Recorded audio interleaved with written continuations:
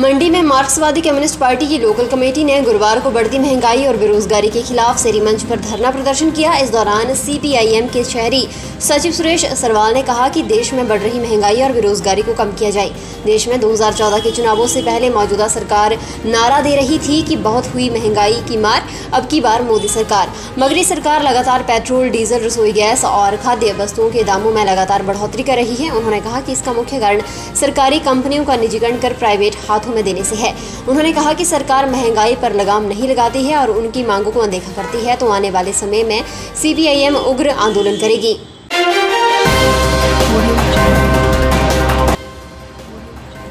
माँ ब्रजेश्वरी देवी मंदिर में भक्तों की भारी भीड़, तड़के ही लगी कतारें। प्रसिद्ध शक्तिपीठ माता श्री ब्रजेश्वरी देवी मंदिर में रामनवमी के दिन पिछले छह दिनों की तुलना में अधिक श्रद्धालु दर्शनों को पहुँचे। गुरुवार सुबह से ही लंबी कतारें माता के दर्शनों के लिए लगनी शुरू हो गई थी। दोपहर तक एक अनुमान के अनुसार दस हज़ार से अधिक श्रद्धालुओं ने मंदिर में शीश नवाया। मंदिर परिसर के अलावा मंदिर मार्ग पर भी भीड़ इतनी थी कि लोगों का चलना मुश्किल हो गया था। मंदिर के प्रवेश द्वार के बाहर से ही श्रद्धालुओं की लाइनें लगनी शुरू हो गई थी। मंदिर बाज़ार की हर दुकान पर भीड़ देखने को मिली। नगर पंचायत दौलतपुर चौक में चल रही रामलीला में राजा दशरथ पुत्र वियोग में अपने प्राण त्याग देते हैं। भरत जी श्री राम को मनाने चित्रकूट जाते हैं। इस दौरान राम भरत मिलन को देखकर दर्शक भावुक हो उठते हैं। भरत जी श्री राम को वापस चलने के लिए निवेदन करते हैं, परंतु भगवान पिता के वचन को पूर्ण करने के लिए इसे अस्वीकार कर देते हैं। तत्पश्चात सुर्पणखा प्रसंग को दर्शाया जाता है, जिसमें लक्ष्मण क्रोधित होकर उसके नाक कान काट देते हैं। तब वे अपने भाई रावण के पास जाती है। इससे पहले भाजपा नेता सुशील काली ने रामलीला मंचन में मुख्य अतिथि के रूप में शिरकत की और प्रभु श्री राम के पचीनों पर चलने का आह्वान किया।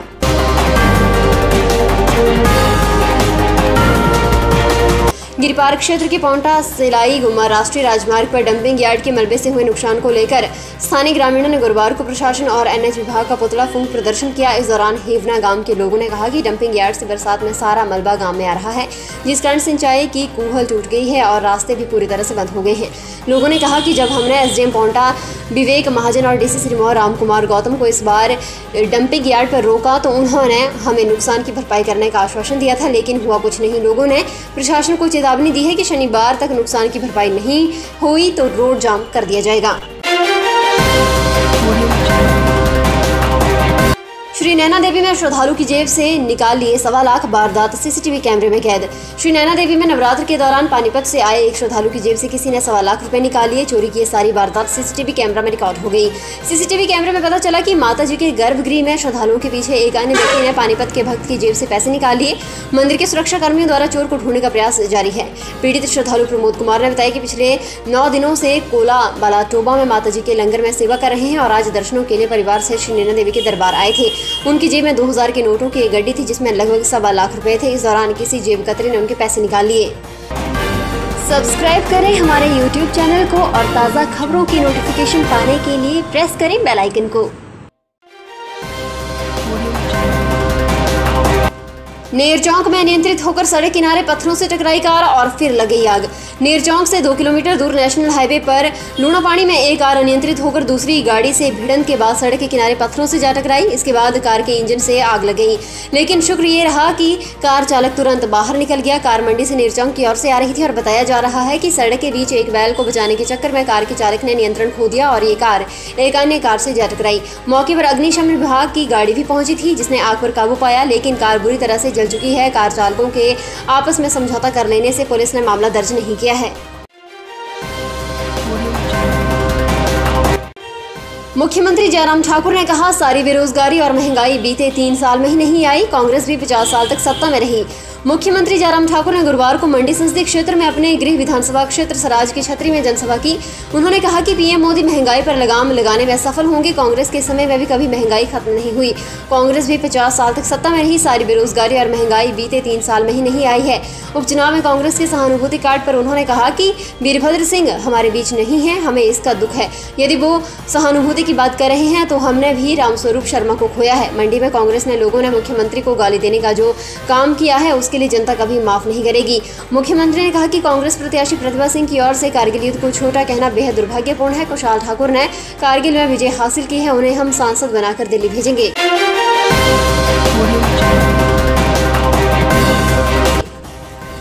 सरकारी स्कूलों में अगले सप्ताह से पांचवी से सातवीं कक्षा के विद्यार्थियों की नियमित कक्षाएँ शुरू होने के आसार कम। हिमाचल प्रदेश के सरकारी स्कूलों में अगले सप्ताह से पांचवी से सातवीं कक्षा के विद्यार्थियों की नियमित कक्षाएँ शुरू होने के आसार कम है। आठवीं से बारहवीं कक्षा के विद्यार्थियों की इन दिनों स्कूलों में नियमित कक्षाएँ चल रही हैं। ऐसे में शिक्षा विभाग ने आगामी कुछ दिनों में इन स्कूलों में कोरोना संक्रमण के मामलों में रफ्तार को देखने का फैसला लिया है। कोरोना संक्रमण के मामले अगर कम ही रहते हैं तो इस महीने के अंत तक पांचवीं से सातवीं कक्षा के विद्यार्थियों को स्कूलों में बुलाने का निर्णय हो सकता है। फ़िलहाल इन कक्षाओं के विद्यार्थियों की ऑनलाइन पढ़ाई जारी रहेगी।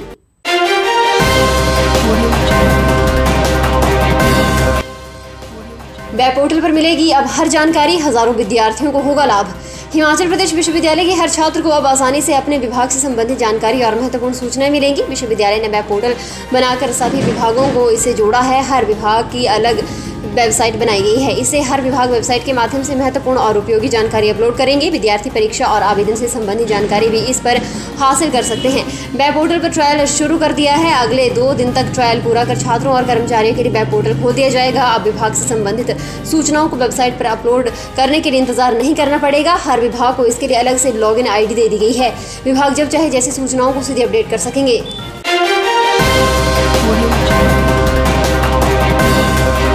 औद्योगिक प्रशिक्षण संस्थानों में शैक्षणिक सत्र दो हज़ार इक्कीस और बाईस के लिए रिक्त सीटों के लिए प्रवेश हेतु संस्थान स्तर पर 18 से 22 अक्टूबर तक स्पॉट राउंड करवाया जाएगा। ये जानकारी देते हुए आईटीआई यूना के प्रधानाचार्य बी एस ढिलो ने बताया कि स्पॉट राउंड में केवल ऑनलाइन एडमिशन पोर्टल पर पंजीकृत अभ्यर्थी ही आवेदन कर सकते हैं।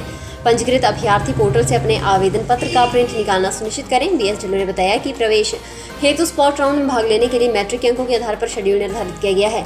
उन्होंने बताया कि मैट्रिक में 70 प्रतिशत से अधिक अंक हासिल करने वालों के लिए 18 अक्टूबर 55 से 70 प्रतिशत तक के लिए 19 अक्टूबर पास प्रतिशतता से 55 प्रतिशत तक के लिए 21 अक्टूबर और पास प्रतिशतता से ऊपर वाले अभ्यर्थियों के लिए 22 अक्टूबर तक का दिन निर्धारित किया गया है।